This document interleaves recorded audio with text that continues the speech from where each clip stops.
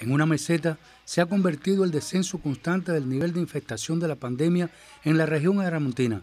Casos positivos por jornadas por encima de 10 y por debajo de 30 reflejan 19 enfermos como promedio diario en las últimas semanas.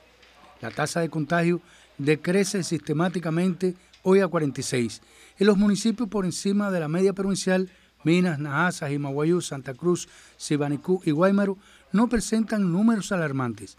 No se reportan fallecidos ni pacientes en terapia intensiva.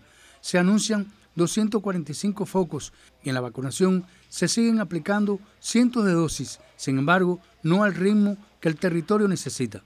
En el Grupo Temporal de Trabajo Provincial se analizó la marcha del proyecto social en los barrios, que incluye la reanimación de 64 comunidades vulnerables de diferentes municipios y donde además de enriquecerlos espiritualmente, se trabaja en mejorar las viviendas, los caminos, escuelas, bodegas, redes hidráulicas, instalaciones de la salud, la cultura, el deporte, entre otras.